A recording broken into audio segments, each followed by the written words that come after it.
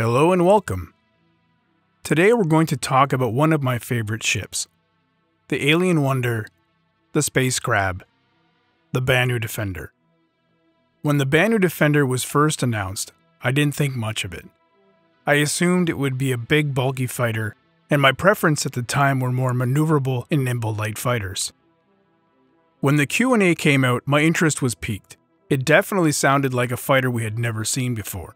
Fast forward to 2022, and the Banu Defender has in fact been my daily driver for a while now. Whether running missions, traveling, or doing PvP combat, the Banu Defender is a great ship. First, a bit of history.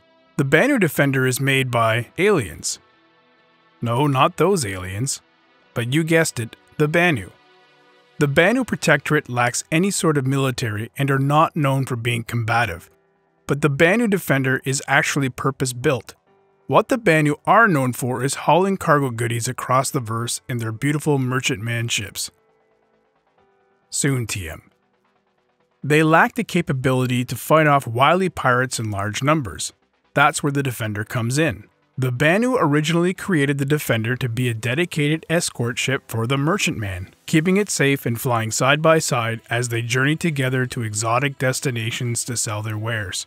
Its design includes technology from a variety of species and has vastly improved range over other fighters of similar size. This is due primarily to a much larger quantum fuel reserve compared to any other ship in its class.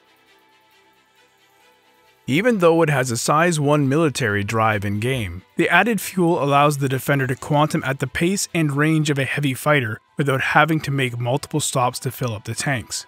The defender is also more maneuverable for a fighter of its size. As a defense ship, it needs to be as effective in the atmosphere as it does in space. Its maneuverability increases due to a light hull construction and its use of alien engine technology. The Banu Defender has the utility of a heavy fighter when it comes to traveling, but behaves more like a medium or light fighter when it comes to maneuverability in combat. These are the two primary reasons it makes such a great daily driver. Let's have a closer look at the interior and exterior of the ship as well as some of the alien technology involved in the construction of the Banu Defender. On the first approach, we immediately noticed two large Xi'an thrusters prominently displayed on either side of the countermeasure launchers.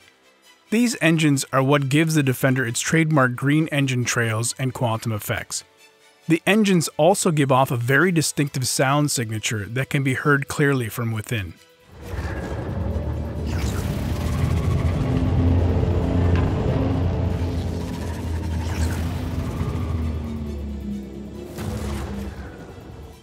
And looking at the speed, we were able to get 1200 meters per second in space, 23.3 Gs triquartering, and just a little over 400 meters per second skimming along the trees of Microtech.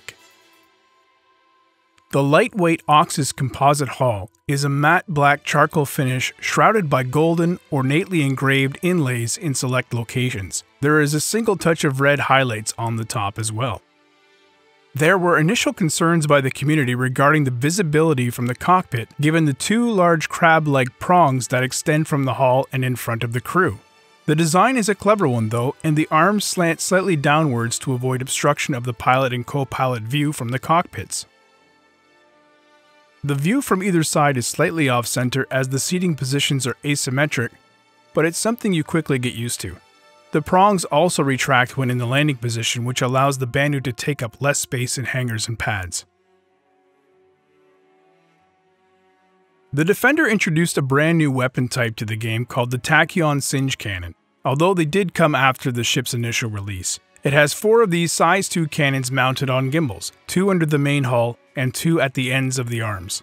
In the lore, the Tachyon cannon is an energy weapon that fires its projectiles at an extremely high velocity making it both very long-ranged and accurate relative to its peers. UEE historians suspect that the Banu assimilated this weapon technology from some other culture. CIG noted in the Q&A that there would be some balancing aspect as a trade-off, but it was yet to be determined at the time.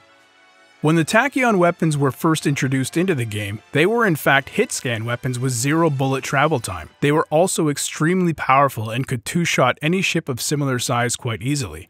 Over time, the tachyon damage type was temporarily removed. We'll have to see what CIG does with this weapon type in the future, but from a practicality point of view, you're better off removing them and using some standard size 2 gimbaled or size 3 fixed laser repeaters. I'm partial to the NDB-30s myself, as they keep the same general aesthetic. The Defender also has two size 3 missile racks located under the chin of the hull and comes equipped with four size 2 Ignite infrared missiles. The Defender also boasts a size 2 shield which is rare for a fighter of this size. Its lighter armor and Tevarin-based shield is what keeps the fighter light and maneuverable during combat.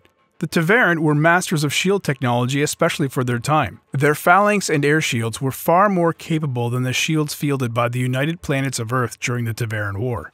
The Defender comes equipped with a Sukoran shield, which in lore is manufactured by the Banu Souli based and improved upon Tevarin technology.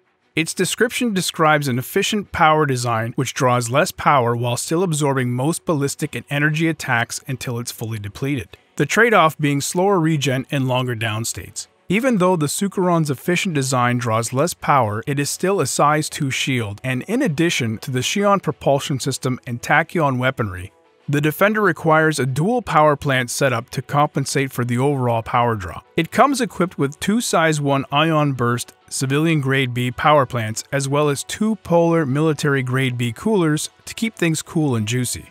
It also should be said that as of 3.16, all shields have been flatlined to practically the same specs, and as such, the Sukoran has temporarily lost its specific abilities for the time being.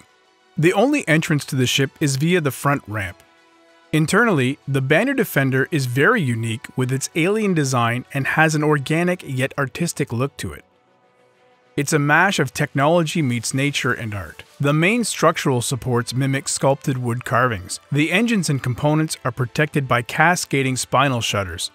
The doors and shutters are molded into the walls to create a smooth, seamless aesthetic while still providing operator access. Venting and grills peek through above with dim blue lighting highlighting throughout. There is a good amount of space inside the hull to store boxes, and it allows easy access to components if repairs are required, although it should be noted that there is no cargo grid. There are also two weapon racks internally for rifle storage. The Defender is also a multi-crew vessel and has the added benefit of an optional co-pilot seat that can currently act as a pilot seat as well. So you can fly from the right or left perspective if you wish, and both are equipped with ejection systems.